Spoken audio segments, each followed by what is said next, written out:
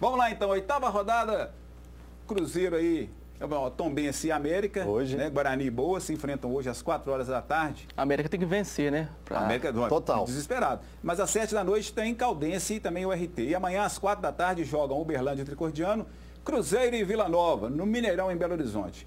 E mais tarde, às 6 e meia em Juiz de Fora, amanhã tem Tupi e Atlético. Vamos começar com o líder, Cruzeiro, hein? O Leão veio aí cheio de velhos conhecidos, pegar a Raposa, que tem mudança no time. Vamos ver. Uma dor de garganta pode dar a David uma dor de cabeça.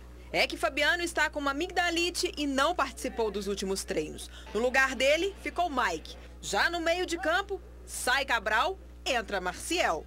Para apimentar o clássico, são 170 confrontos, 96 vitórias do time da Toca, 50 empates e só 24 derrotas. A última delas em 1999. Para ajudar o Vila a derrubar esses dados, armas poderosas. Jogadores que já se destacaram com a camisa celeste.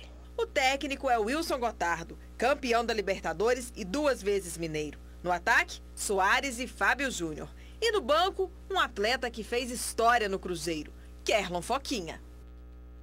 Rapaz, Kerlon, Kerlon Foquinha. Ah, tá aí, ó. Vamos lá então. Olha só, abraço aí pro Paulinho lá de Itapecerica, dono do açougue, que tem a melhor linguiça. Pegou mal, né? Mas também tem o melhor suã da região. Dá uma...